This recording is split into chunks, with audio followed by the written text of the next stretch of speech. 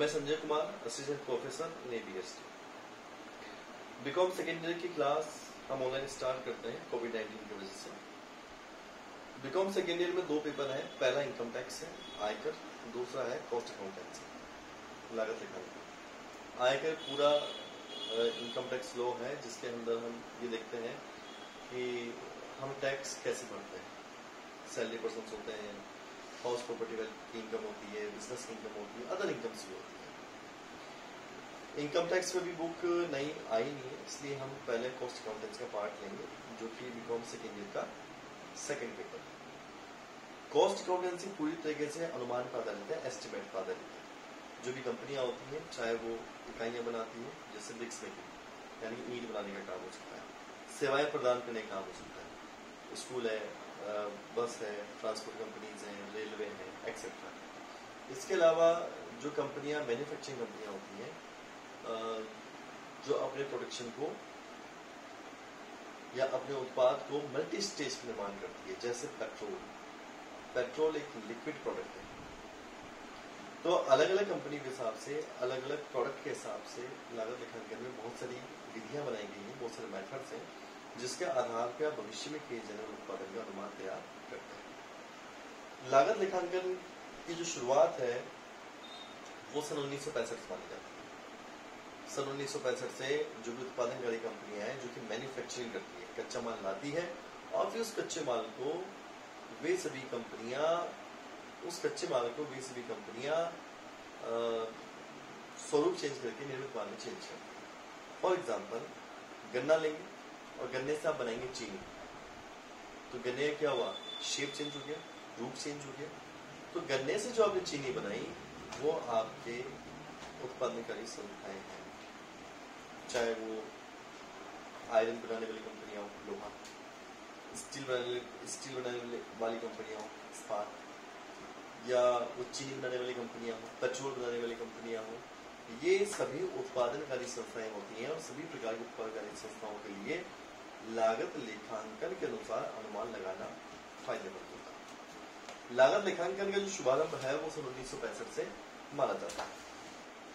लागत लेखांकन के लिए सबसे बेसिक टर्म है cost C O S T cost cost बोलते हैं लागत। मेरी आप जो पीडीएफ देखेंगे फ़र्स्ट पीडीएफ ये उस फ़र्स्ट पीडीएफ का मैं कर लागत का मतलब होता है कि प्रति इकाई किया गया कुल व्यय लागत श्रेणी होता है। फॉर एग्ज़ाम्पल पेंसिल इस पेंसिल को बनाने में इसमें मटेरियल लगा है मतलब लगी इसके बनाने के लिए मजदूर काम मजदूरी लगी है, यानी कि वेजेस इसको बनाने के लिए फैक्ट्री के खर्चे लगे फैक्ट्री के खर्चे। इस माल को बनाकर और बेचने का जो मैनेजमेंट है, वो ऑफ़िस करता है तो इसका ऑफ़िस के खर्चे। इस माल को सप्लाई करने का खर्चा, यानी कि डिस्ट्रीब्यूट करने का खर्चा, वितरण का खर्चा। ये पेंसिल नटराज पेंसिल है। कौन जानता है इसको? कोई नहीं जानता। लेकिन जानने के लिए हमें इसके लिए करना पड़ेगा सेलिंग एक्सपेंसिस जैसे विज्ञापन जो माल बेचने के लिए नहीं होता है, वो माल को प्रमोट करने की खर्चा होता है। तो सभी प्रकार के खर्चों का जो टोटल होता है, उसे लागत कहा जाता है। लागत का निर्धारण जिस विधि के अनुसार होगा, उस निर्धारण करने को कहा जाता है कॉस्ट अकाउंटिंग अनुमान को जब उचित विधि के अनुसार पुस्तकों में दिखा दें तो उसे कहा जाता है लागत लेखाशास्त्र कॉस्ट अकाउंटिंग लागत लेखांकन के उद्देश्य क्या है? ऑब्जेक्ट्स क्या है? ऑब्जेक्ट्स ऑफ़ कॉस्ट अकाउंटिंग अगर उद्देश्य की बात करें तो पहला उद्देश्य। जब भी आप अनुमान लगाएँगे तो अनुमान हमेशा लॉट में लगता है, एक समूह में लगता है। आपने कहा कि हमें एक हज़ार मोबाइल बनाना है तो एक हज़ार मोबाइल के लिए कितना खर्चा होता है? मटेरियल कितना लगेगा? लेबर कितना लगेगा? ओवरहेड अदर खर्चे कितने लगेगा? तो लागत लेखांकन इसलिए बनाते हैं ताकि हमें एक लॉट के हिसाब से कुल लागत का पता चले।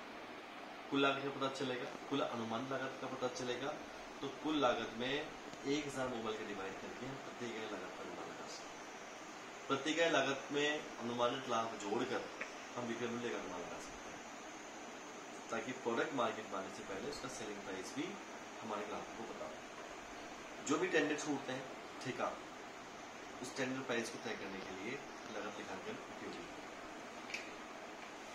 तो तो ये सारे फ़ायदे जो है लागत लेखांकन के लिए होते हैं। इसके लाभ क्या लागत लेखांकन से प्रबंधकों को लाभ होता है, कर्मचारियों को लाभ होता है, और आपको जो भी संस्था जुड़े हुए, जो भी व्यक्ति हैं, जो भी पक्षकार हैं, बैंक हो सकता है, वित्तीय संस्थाएँ हो सकती हैं, उन सबको इसके लाभ होता है। लागत लेखांकन के कुछ दोष, कुछ सीमाएँ भी होती लागत लेखांकन केवल उत्पादक संस्थाओं के लिए ही उपयोगी है। नंबर दो, इसमें समय लगता है, इसलिए इसमें समय का अपयोग होता है। टाइम कंज्यूमिंग है। लागत लेखांकन अनुमान लगाने वाले कोर्स अकाउंटेंट चाहिए होते हैं, इसलिए इसमें आपके एक एक्स्ट्रा स्टाफ रखना पड़ेगा, और स्टाफ का आपको खर्चा होगा। लागत लेखांकन कभी भी एक्चुअल नहीं हो सकता। क्योंकि भविष्य में संभावनाएँ बदलती हैं। तो आपकी लागत लेखा मान कभी सटीक बैठे इस बात की, पूरी संभावना नहीं डिटेल के लिए आप मेरी पीडीएफ और को आप देख सकते हैं।